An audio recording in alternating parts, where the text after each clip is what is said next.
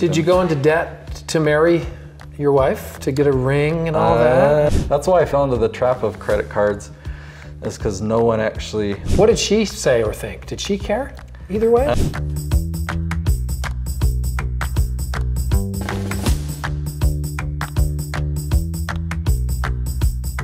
And here's the question that now brings us full circle to some degree.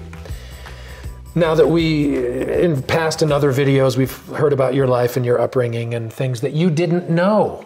That if you'd only known, mm-hmm. it would have saved you from some of this. But you've learned, and now you've learned. How transparent are you with your children? How much do they know? How much do you teach them about credit cards and debt and these lessons that we're discussing? I, I, I hope I'm doing the right thing. I, I want to be the best parent I can. I'm really open with them. They, they know how much money we make. They know how much our trips cost. They have heard me talk about credit card debt. So I, I just try. Have and, they heard your stories, your past, mm-hmm. your history? They know where you came from and the, the, the hell you went through, as mm-hmm. it were. Yeah. Yeah. Good. Okay.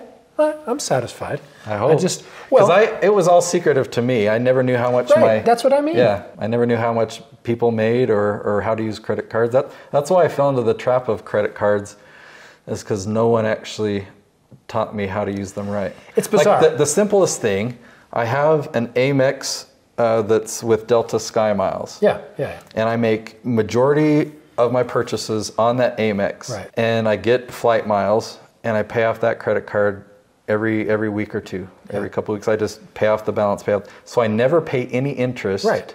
Haven't paid interest on a credit card for many years. Well, and your credit score just keeps rising and rising and rising as you do that. And that's the beauty of a tool of having. back in the day, I was paying like twenty three percent interest. Unbelievable.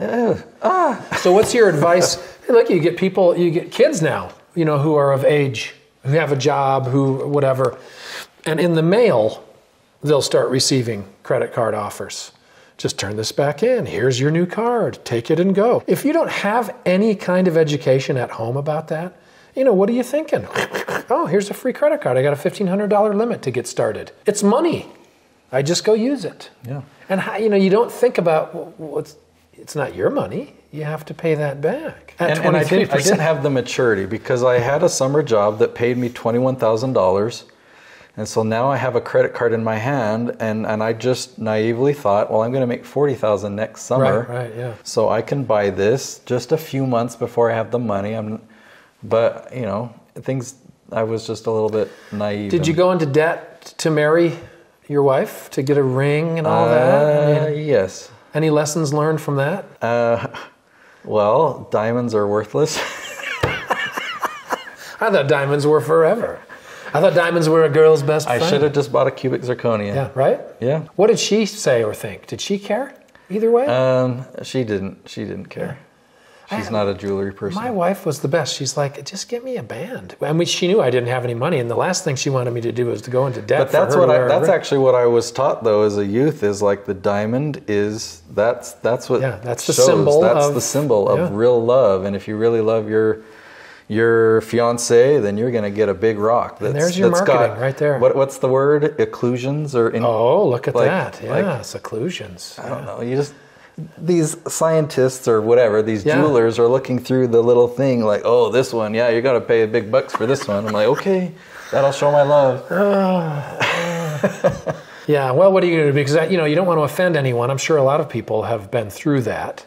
And uh, We can offend people. that's true. All the nine that if are they're watching. offended, they'll just hit stop. Where I get the most fulfillment is I love that. Why did it take you so long to, uh, to, to get to that point? we're just going to have them. And I said, yeah, bring them to the studio, let them watch. Like I, Oh, you can't do that. You know, you, you can't give away our